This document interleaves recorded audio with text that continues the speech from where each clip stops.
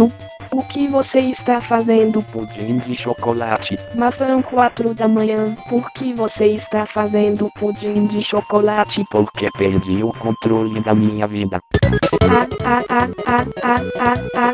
ah. Aqui tá o seu pudim, Angelica. Ah, não precisava tios, tu nem tô mais com fome. Nossa, eu fiz esse pudim à toa mesmo só ficar acordado na madruga pra ver o torneio de Free Fire.